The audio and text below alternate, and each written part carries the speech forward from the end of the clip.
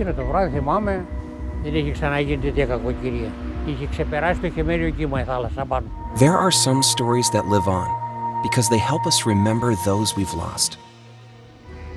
Θα πούμε εδώ. And others because they sound unique. Αυτό ήταν. Πήγαμε στο Σύνταγμα να δω που είχαν στρατοπεδεύσει μέσα στην πλατεία του Συντάγματος Με τεθωρακισμένα κτλ. Stories that endure because we must not forget them. Και όταν ακούσαμε ότι πιάσαν τους Εβραίους και τους βάζαν στα τρένα και τους διώχνανε, ε, τότε καταλάβαμε ότι αυτοί δεν θα γεννούσαν τη ζωντανή. And some that persist because they hold useful lessons for the future. These stories must be preserved.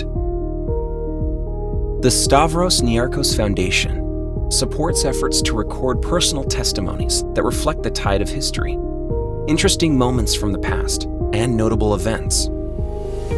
Istorima combines journalism with history, employing young people from all over Greece and training them to record local oral histories. The Shoah Foundation Institute has collected more than 300 testimonies from Greeks who survived the Holocaust.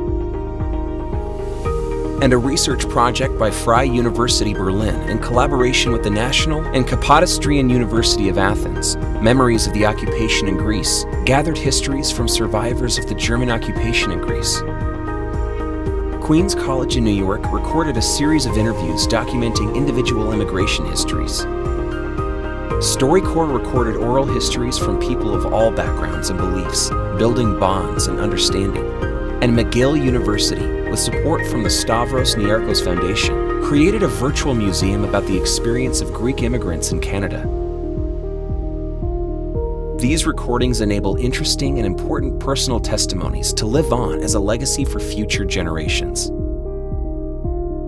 The Stavros Niarchos Foundation, empowering humanity.